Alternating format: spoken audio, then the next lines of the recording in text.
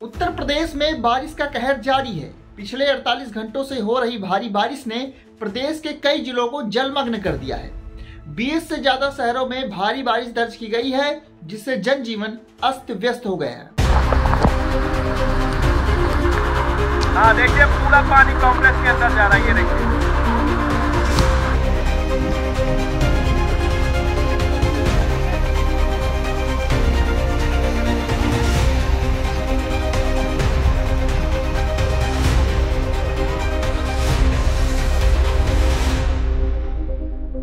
नमस्कार, आप देख रहे हैं नेस्टाव और मैं हूँ आपके साथ निखिल श्रीवास्तव। उत्तर प्रदेश में पिछले 48 घंटों से हो रही मूसलाधार बारिश अब आफत बनकर बरस रही है।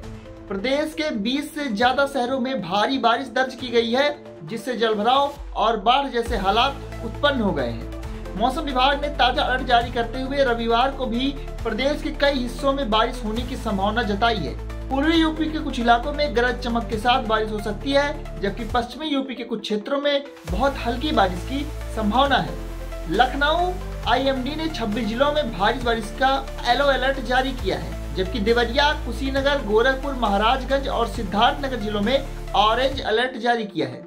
इन इलाकों में बिजली गिरने की भी संभावना है। शनिवार को हुई बारिश ने भीषण तबाही मचाई। अलग अलग घटनाओं में कुल पाँच लोगों की मौत हो गई। जौनपुर के समंसा गाँव में घर के अंदर सो रहे माँ बेटे पर आकाशीय बिजली गिर गई, जिससे माँ की मौके पर ही मौत हो गई और बेटा गंभीर रूप से झुलस गया। वहीं बरसठी थाना इलाके में बकरी और भेड़ चराने गए एक बुज़ुर्ग की भी बिजली गिरने से मौत हो गई। अभी बारिश की वजह से बाढ़ के हालात भी बन गए हैं। प्रतापगढ़, गोरखपुर, प्रयागराज, सिद्धार्थनगर और अंबेडकर नगर समेत कई जिलों में जलभराव की समस्या हो गई है। गोरखपुर में पिछले 48 घंटे से हो रही बारिश ने शहर की कई कॉलोनियों को जलमग्न कर दिया।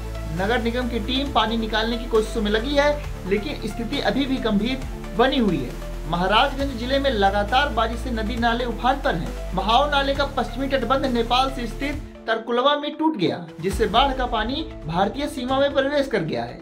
कई गाँव में फ़सलें डूब चुकी है और ग्रामीण बाढ़ के पानी से भयभीत है।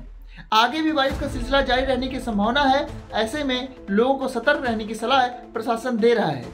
हमारी भी नज़र मौसम विभाग के हर उस अपडेट पर है जो आपके लिए जानना ज़रूरी है।